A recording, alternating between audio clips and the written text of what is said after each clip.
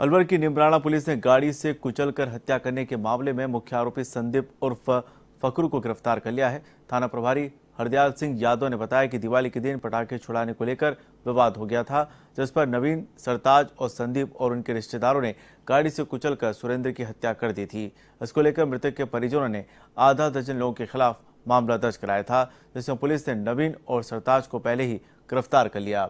वहीं अब मुख्य आरोपी संदीप को भी अवैध पिस्टल के साथ गिरफ़्तार कर लिया गया।